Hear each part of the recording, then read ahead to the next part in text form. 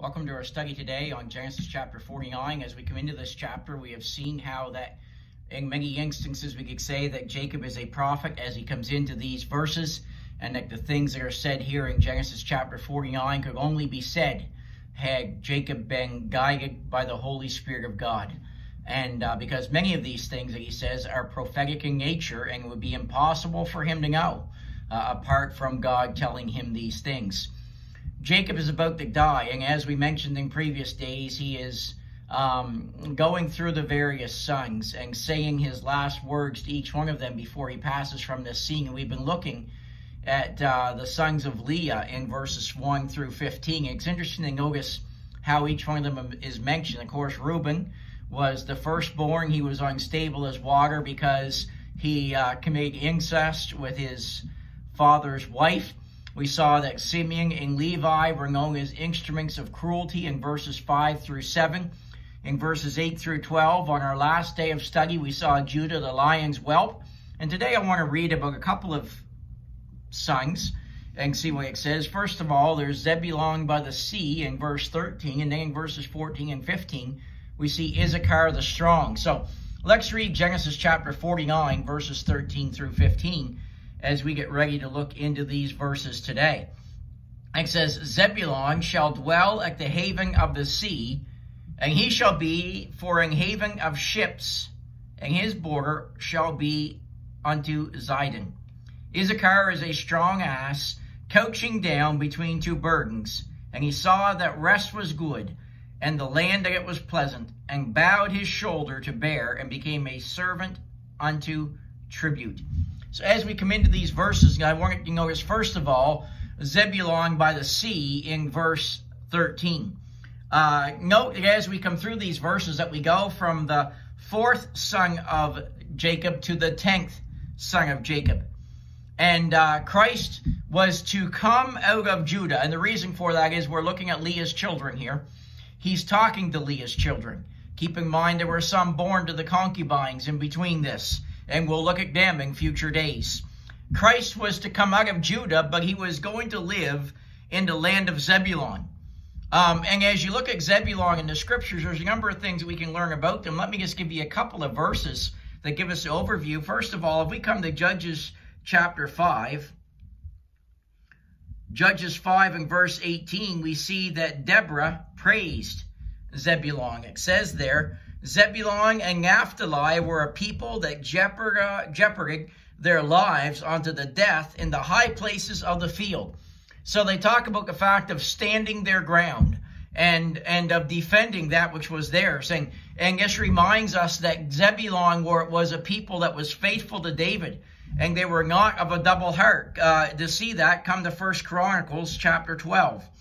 In First Chronicles chapter 12, we're going to look first, first of all at verse 33, where it says this about Zebulon. It says, Of Zebulon, such as went forth to battle, expert in war, with all instruments of war, 50,000, which could keep rank, they were not of a double heart. So they were not of a double heart. Certainly that is what we need today, friends. We need some Christians in our churches who are not of a double heart, who are not double minded, as James speaks about, and being unstable in all their ways. But, oh, friends, how we need a heart that is wholly given to the Lord Jesus Christ and what he wants.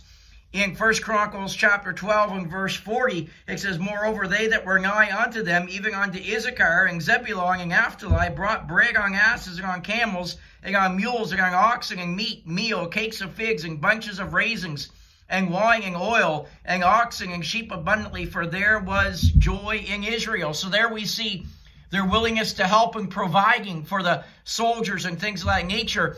And it's interesting as you go back into Genesis chapter 49 that it talks about it being a haven of ships and a seafaring people. And you can see that in a number of other, a couple of other passages that you can look at. Well, come with me if you would. Matthew chapter 4. Matthew chapter 4, verse 15. And also, we're not going to take time to read it, but I encourage you, Isaiah chapter 9, verses 1 through 7 also gives us some relevant information regarding Zebulon and who they were. But in Matthew 4, verse 15, it says, The land of Zebulon and the land of Naphtali by the way of the sea beyond Jordan, Galilee of the Gentiles. And it says that they would be a haven of ships. What can you and I learn from that? Well, what we learn from that very simply is this divine providence determines our service. In other words, God will place us in the area that He wants us to serve, and He will equip us to do that which He wants us to do. Zebulon, living by the sea, became a haven for ships. Where Zebulon lived determined his service. You know, if Zebulon had lived in the desert, he could not have been a haven for ships, but he'd have to be something else. Friends, God's callings are practical. They fit our divinely ordered situation where God places us, or God places us where he wants us so that we can serve him in the way that he wants us to serve him. So that's what we see as we look at Zebulon. But then there's Naphtali, and, or Issachar rather, in verses 14 and 15, and he's described as being strong. Um, and the reason why I say that was because the ass was a useful animal, and it was no disgrace to be called one. Um, here we see that that what he's reminding them of is that Issachar was a strong people. They would be a people that would bear burdens. And as you, and, and friends, we need people today that will bear burdens.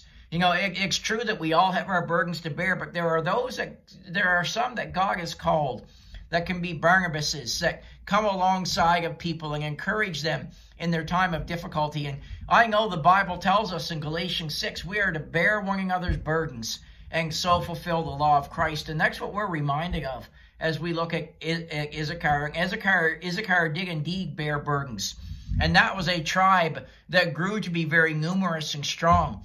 Uh, if you look at them uh, in Numbers chapter 26 and verse 25, you'll see there that that tribe then numbered 64,300. But by the time you get over to First Chronicles chapter 7 and verse 5, you'll see that they increased to 87,000 people. So they increased by almost 23,000.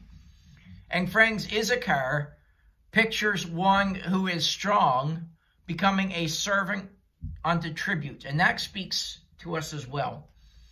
Issachar was strong, but through love of ease and pleasure, he became bound. And uh, oh, friends, what a powerful word that has to say to us. Because he was willing to sacrifice freedom and independence in order to enjoy creature comforts. And that is a sure way to destroy yourself. And it's sad but true that there are so many today that would rather be e- live at ease and be comfortable for a time than to realize, friends, we got a battle to fight. We've got to stand our ground, or we will not have ground to stand. I'm speaking of Christians today in this great country of Canada. Eh, people are living at ease. People are complacent. People are just uh, living lives of ease and they're not understanding and they're not seeing that Christianity is under attack in our country. And if we do not stand our ground, and if we do not defend our ground, and if we do not stand for that which is right and stand against that which is wrong, friends, the day is going to come when we will have what we have now taken from us. And there will be many that will be sitting there and scratching their heads and wondering why in the world and how in the world it happened. And they will fail to see that it happened because because the soldiers of Christ uh, lived at ease when we should have been standing, when we should have been defending, when we should have been going forward. Oh, friend, let me encourage you today. Stand for that which God wants us to stand for, and do not be given over to a life of ease, and through the ease be brought into bondage. Oh, friends, let's stand as a people of God, and having done all, to stand. Have a great day.